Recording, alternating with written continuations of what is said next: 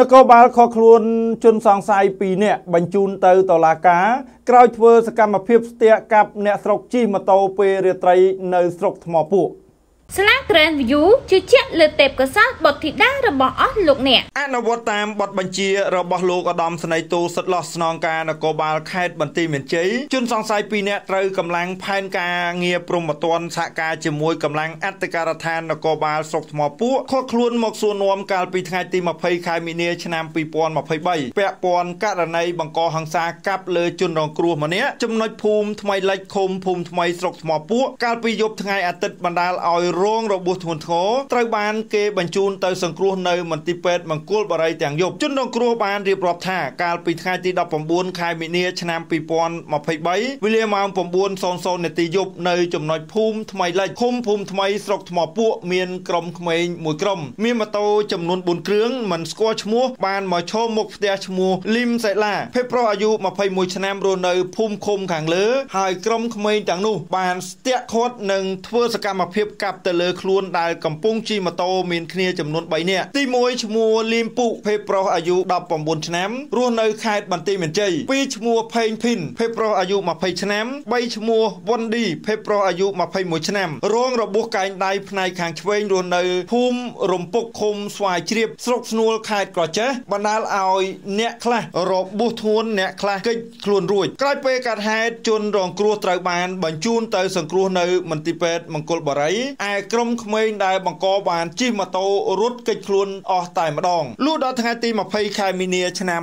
2023វេលាម៉ោង2រសៀលកម្លាំងជំនាញបានស្រាវជ្រាវនិងនាំមុខសញ្ញាសង្ស័យចំនួន2នាក់ម្នាក់ឈ្មោះឆាងឆាតភេទប្រុសអាយុ22ឆ្នាំ និងពីរឈ្មោះហាតឆាតហៅសំភេទប្រុសអាយុ22ឆ្នាំ ជាជនដៃដល់រស់នៅភូមិថ្មីលិចឃុំភូមិថ្មីស្រុកថ្មពួកខេត្តបន្ទាយមានជ័យជាមួយគ្នាបានសារភាពថាខ្លួនទាំងពីរនាក់ពិតជាបានធ្វើសកម្មភាពប្រើអំពើហិង្សាយកកំបិតតាំងតោកាប់ទៅលើជនរងគ្រោះបណ្ដាលឲ្យមានរបួសស្នាមពិតប្រកបមែនដោយសារខឹងជនរងគ្រោះខាងលើជិះម៉ូតូពេញផ្លូវទៅស្ទាក់កាប់តែម្ដង បច្ចុប្បន្នជនសង្ស័យស្ថិតក្រោមការសួរនាំរបស់កម្លាំងការិយាល័យនគរបាលព្រំប្រទានកម្រិតស្រាលដើម្បីកសាងសំណុំរឿងបញ្ជូនទៅកាន់តុលាការចាត់ការបន្តតាមច្បាប់ទាក់ទិននឹងករណីនេះលោកឧត្តមស្នេហ៍តូសុតឡោះស្នងការនគរបាលខេត្តបន្ទាយមានជ័យបានអំពីនីវដល់អាណាព្យាបាលឪពុកម្ដាយត្រូវជួយអប់រំកូនចៅឲ្យប្រព្រឹត្តតែអំពើល្អ